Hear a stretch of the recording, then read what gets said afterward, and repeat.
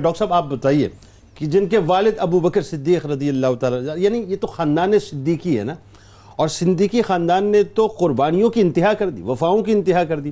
اور انہی وفاؤں میں ایک وفا جو ہے ہمیں حضرت اسما بنت ابی بکر رضی اللہ تعالیٰ عنہ کی نظر آتی ہے۔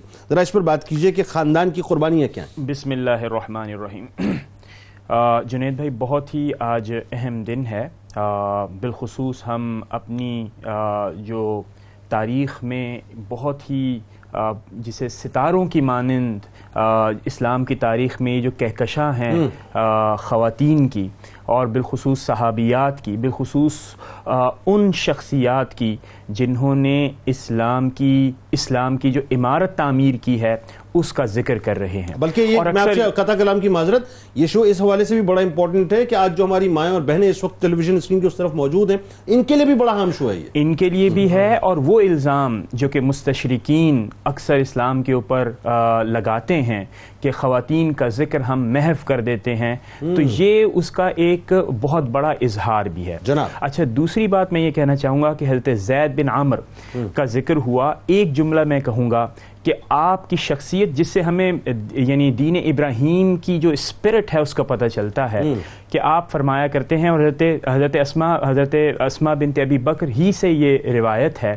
آپ فرماتی ہیں کہ میں نے دیکھا چونکہ آپ کا حافظہ بہت ہی قوی تھا تو آپ نے فرمایا کہ آپ کعبہ پر کھڑے ہو کر فرمایا کرتے تھے کہ اے لوگو تم یہ جو خواتین کو زندہ درگور کر دیتے ہو تم ان کو مارنے کے بجائے تم میری کفالت میں دے دو۔ میں ان کے کھانے پینے کا انتظام بھی کروں گا اور میں ان کا خیال بھی رکھوں گا۔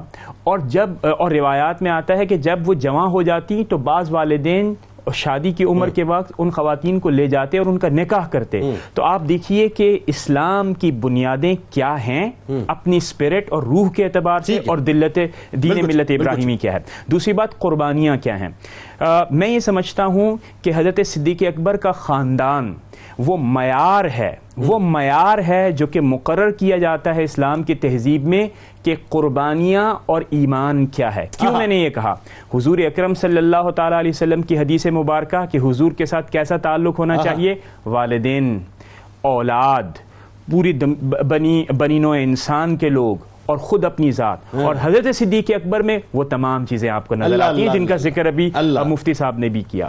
اب آپ دیکھیے کہ والد نے اسلام قبول فرمایا والدہ نے اسلام قبول فرمایا۔ ہاں۔ حضرت اسما بنت ابی بکر نے جو قربانیاں دیں اس کو بھی ہمیں ہمیشہ شمار کرنا چاہیے۔ آپ دیکھیے حضرت اسما فرماتی ہیں کہ ہمارا خاندان نہایت پر وقار خاندان تھا۔ ہاں۔ لیکن جب ہجرت کا واقعہ پیش آیا تو ہجرت کے واقعے کے بعد یعنی جب آپ تشریف لے گئے حضرت صدیق اکبر اور حضور اکرم صلی اللہ تعالیٰ علیہ وسلم غار سور کی طرف تو ابو جہل آپ کے دروازے پر آتا ہے اور کہتی ہیں کہ وہ دن ایک بہت ہی قربانیوں سے بھرپور دن ان معنوں میں تھا کہ اس نے بڑے ہی اس دل اس دن دل خراش واقعات ہوئے۔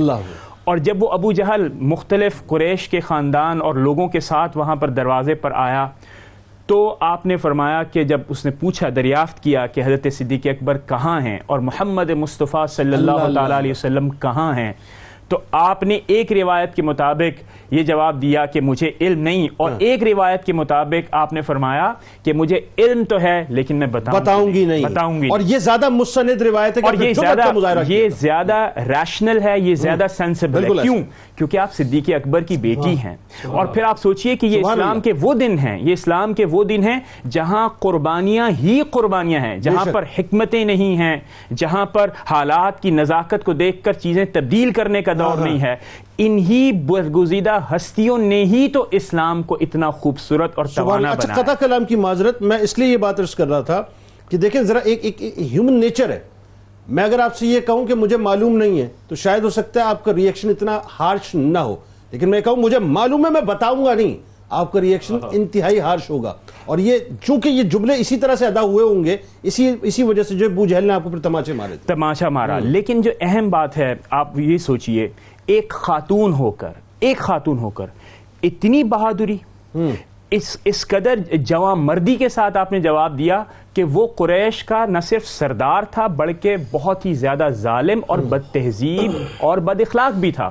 اس کے باوجود بھی آپ نے بالکل کھل کر جواب دیا کہ میں جانتی ہوں لیکن بتاؤں گی نہیں۔ اور اس کے بعد ظاہر ہے ایک والا یہ معاملہ ہوا۔ اس کے بعد پھر حضرت صدیق اکبر رضی اللہ تعالیٰ عنہ نے آپ کو گھر کا ذمہ دار بنایا۔ اللہ۔ کہ میں ہجر میں تو جا رہا ہوں غار سور کی طرف۔ اللہ اللہ اللہ۔ اور یہ اسلام کی اشاعت اور ترویج کے اندر ایک اہم کردار ادا کرے گا۔ اب آپ چونکہ گھر کی بڑی ہیں اللہ۔ آپ نے اپنے چھوٹے بہن بھائیوں کا خیال بھی رکھنا اللہ ہے اللہ اور۔ گھر کی ذمہ داریوں سے اور سارا پریشر اس وقت کفار کا آپ کے اوپر تھا یعنی ساری نگاہیں آپ کے اوپر تھی۔ اور سارا پریشر آپ نے سارا پریشر تھا اور اس کے ساتھ ساتھ جنید بھائی آپ یہ بھی تو غور کیجیے کہ صرف ذمہ داری گھر کی نہیں ہے ہاں۔ صرف ذمہ داری یہ نہیں ہے کہ آپ نے قریش والوں سے بھی گفتگو کرنی ہے بتانا ہے بلکہ یہ بھی ذمہ داری حضرت صدیق اکبر نے آپ کی نسبت جوڑی اور آپ کو فرمایا کہ حضور اکرم صلی اللہ تعالی علیہ وسلم کے لیے کھانے کا اہتمام ہاں، تازہ کھانے۔ کا اہتمام بھی آپ نے ہی کرنا ہے ہاں۔ اور آپ نے وہ بہت ہی خوبصورتی کے ساتھ کیا تو ہمیں یہ محسوس ہوتا ہے